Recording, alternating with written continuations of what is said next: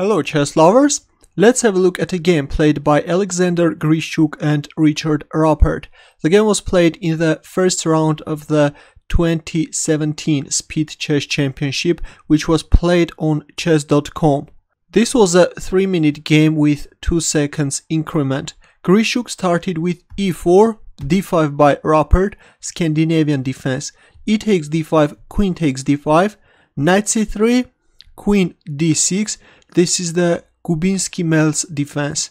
d4, knight f6, knight f3, c6, knight e5, knight d7, knight c4, queen c7, queen f3, knight b6, bishop f4, queen d7, playing queen d8 at once is better.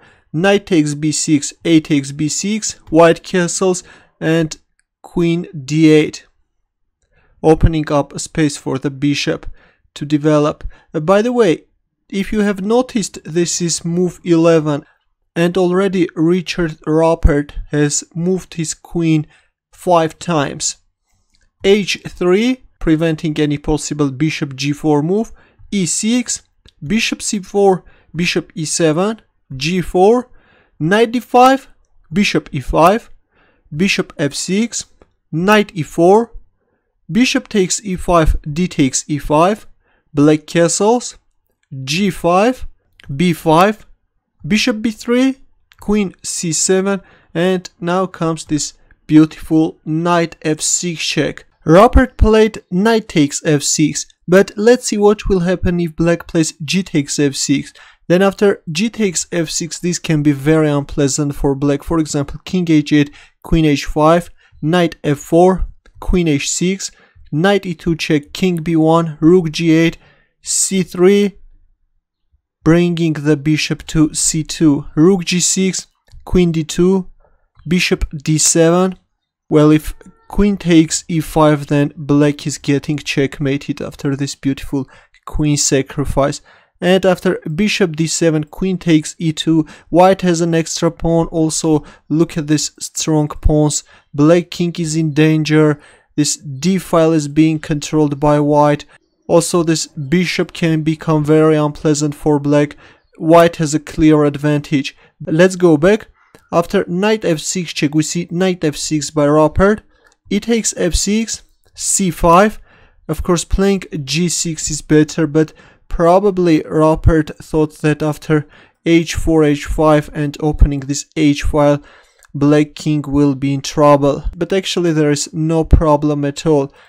So we see c5 in the game, f takes g7, rook e8, c3, bringing the bishop to this b1 h7 diagonal, c4, bishop c2, rook takes a2, and rook d4 rook a1 check, and now comes this beautiful king d2 move.